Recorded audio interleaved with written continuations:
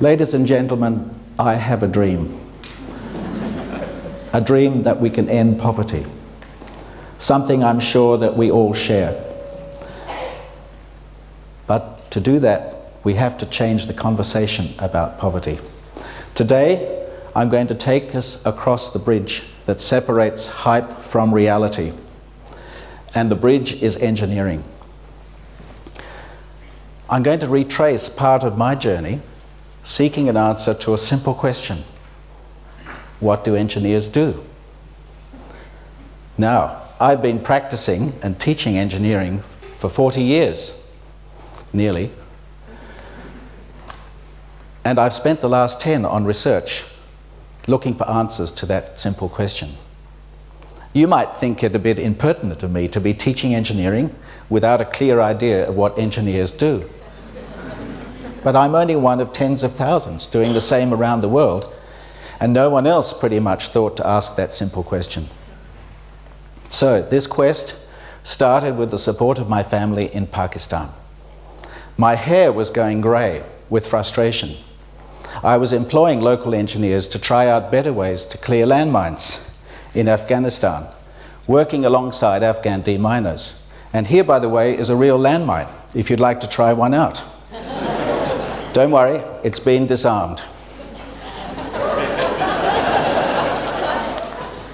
Soldiers, Taliban, farmers, children. All were having their legs blown off and worse, and some still are today. Now, my engineers came with the best qualifications, some from the best British universities. And yet they didn't seem to show the kind of practical skills that I could take for granted from engineers in Australia. At first, I thought it was something to do with me, being born in the country of their former colonizers. They were taking revenge But then eventually I realized it wasn't me after all. Engineers across India and Pakistan were performing much the same. In the words of one Pakistan politician, a miracle is an engineer who delivers anything useful.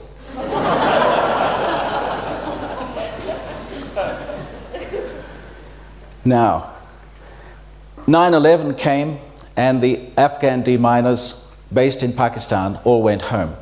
And since then, they've been more concerned about not being kidnapped than finding better ways to do their jobs. At the inspiration of my dear late mother in law, we turned our attention to water supplies in nearby villages and schools. I have a picture of a school called Tandapani, cool water, ironically. There are water pipes in the ground, but no water was coming out. Until we installed a water pump and a well at the school, the kids had to carry buckets for an hour a day just to use the toilets. Nearby, in another village where they'd also asked for a water pump, my language skills gradually improving, a family insisted I join them for a cup of tea. As I entered their tiny family walled compound, they proudly showed me their water pump and told me that they had spent the equivalent of $1,500 installing it. I was astonished. Here were really poor people. How could they possibly afford that kind of money? Well, economists helped me understand that equation. Before they installed the water pump, the women had to carry buckets back from the village well, around about a one hour round trip. The economists explained a concept the shadow priced value of time.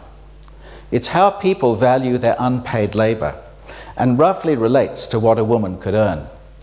Currently in that village today, it's about 30 cents an hour. Now, when you figure out the time they spend carrying water and the extra hour required to boil it, the cost of the fuel, the cost of the water turns out to be $35 a tonne. And in case you're wondering what a tonne of water is, it's around about what it would take to fill two large bathtubs to the overflow. There are other ways to get water. In a city, you can order it in 20 litre plastic bottles. It's more reliable, it's cleaner, safer to drink, and the cost $70 a tonne. Now, the city water supply is intermittent. It's run by engineers, costs $20 a year, and will deliver water to you for an hour or so every other day. Water that is almost certainly contaminated by sewage that seeps in through thousands of broken and half repaired connections that cross open sewers. Now, of course, you can drink that water, but you take the equivalent economic penalty. Sickness for several weeks a year cuts into your earning potential. Now, it's important to realize that these costs, for most people, are not paid in cash. It's a loss of capacity. They pay in time and lost opportunities. Now, let's go back for a moment. Let's think about the minimum quantity of water you need to survive. In a UN refugee camp, they'll give you 10 litres of water per day, which will be just enough for cooking and drinking and the other things you need clean water for. What does it cost, therefore, to provide this minimum quantity of water to 170 million people in Pakistan every day? Answer, using the estimates that I've given you, 10% of GDP. Yes. And that doesn't include food. Every day, up and down the country, women spend their entire days carrying water for their families and their animals. The cost counts. In Rawalpindi, medical specialists tell me that 95% of the sickness cases they see every day could be prevented by washing hands and backsides. And for Muslims, that's a religious requirement. So, why is it that most people avoid what is both a religious and a health requirement? Answer they can't afford the water, it's too expensive.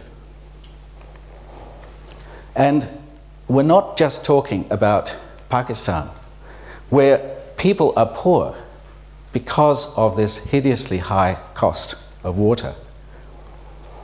We're not just talking about water either. Think about food. India and Pakistan grow three times as much food as they actually eat. The rest is lost because of inadequate engineering. Food is lost in storage, distribution, in processing, and in manufacture. With the electricity off for 18 or more hours a day in summer, a fridge is a mere decoration. You can't keep today's leftovers because they won't last till tomorrow with temperatures over 30 degrees all the time. And if you want to have a generator, it'll cost you 50 cents a kilowatt hour. And that's far more than most people can afford. So think about this all the countries that we think as being low cost countries, countries with low cost labor, where our manufacturing industry might go to, they're actually hideously expensive to live in. And that's why most of the people are poor. So, why is it so much cheaper for us here today? Well, many people will tell you that us, that is the Western colonial powers of the 18th, 19th, and early 20th century, we manipulated the world economy, impoverished our colonies, and enriched our great grandparents we developed some impressive engineering. And then we squandered most of the loot because we had a nasty habit of going to war with each other. We came to our senses. We started competing economically once the trade barriers enforced by empires came tumbling down. And the competition that ensued fostered an, an extraordinary improvements in engineering improvements which slashed the real costs of living for us, vastly reducing the amount of resources and human effort required for water, food, energy, and the comfortable lifestyle we've come to enjoy. So, what this does, what this engineering does, is liberate a huge amount of human capacity. Human capacity that can be used for governance, improved security, education, healthcare, even volunteering, sport, recreation, the things that we enjoy in a civilized existence. But where does this leave the developing world? Well, they've got the message. They're educating hundreds of thousands, millions of engineers across India, China, Pakistan, and many other countries. But will these engineers be able to deliver what their people expect? With 10 years research on engineering practice, I'm having my doubts. Let's take the case of Indian engineers. The best Indian engineers don't work as engineers. They get jobs as programmers, writing software. Why? Well, that's a question that troubles Indian manufacturers today.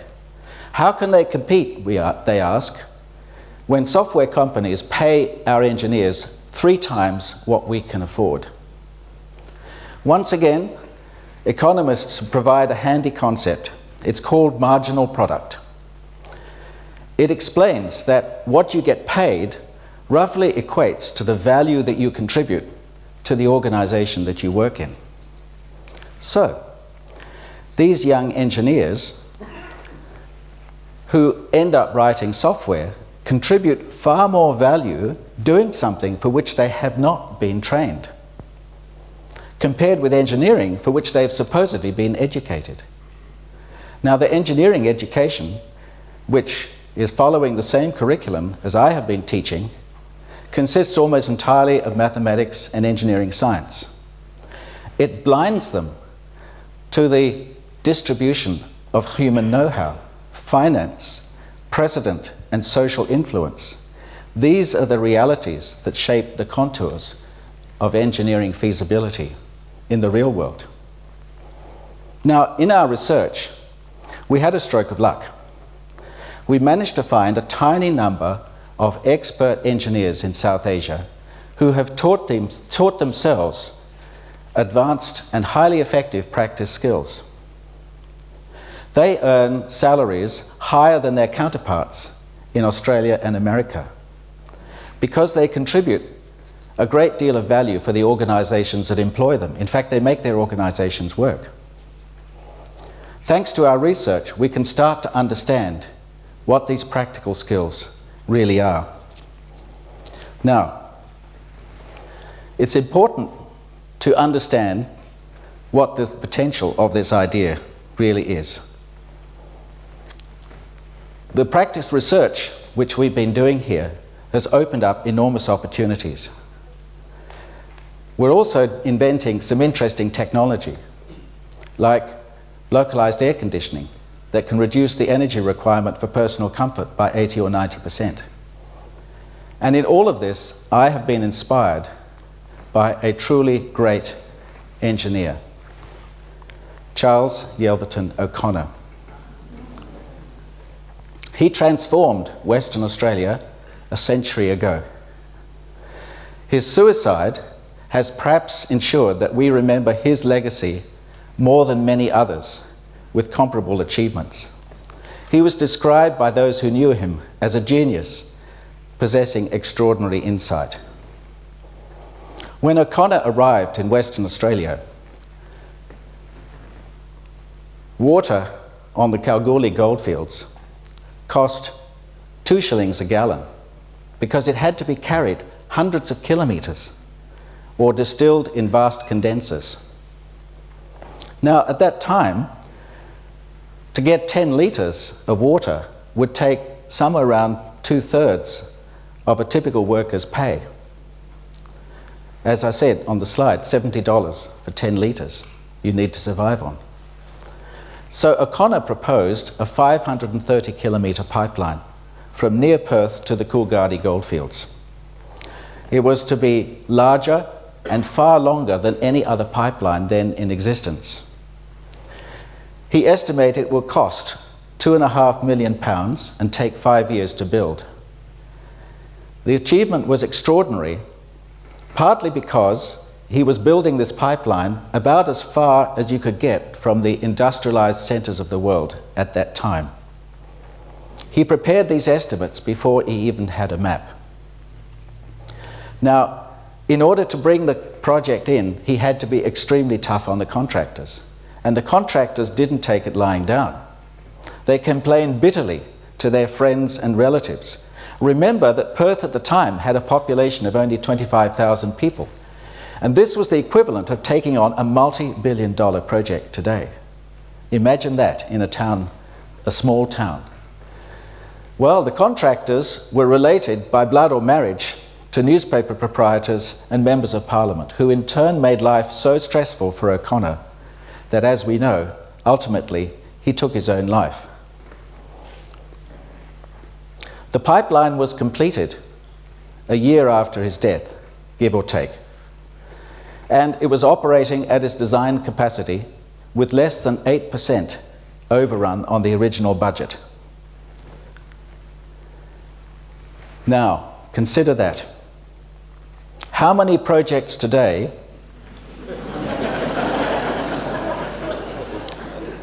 particularly of that magnitude and advancing technology so far beyond the state of the art, how many projects come in anywhere near the original budget today? Well, the reason is, ladies and gentlemen, because we have lost so much of our practice skills. But thanks to our research, we can begin to rebuild those skills. In fact, that's what we have been doing. And now, let's go back. The high costs of water, food, and energy across the developing world represent a humanitarian catastrophe, nothing less. These costs are denying billions of people from enjoying a decent lifestyle. But this catastrophe is also an opportunity. Now, here in Western Australia, we have some amazing opportunities for engineers today with the right skills. And yet, not far away, there are opportunities hundreds of times greater again. A new generation of engineers equipped with up to date practice skills can not only liberate billions of people from destitution, but also they can build good businesses for themselves. So, this new generation of engineers, ladies and gentlemen, this new generation of engineers equipped with practice know how can awaken vast human potential as yet unrealized. That's my dream.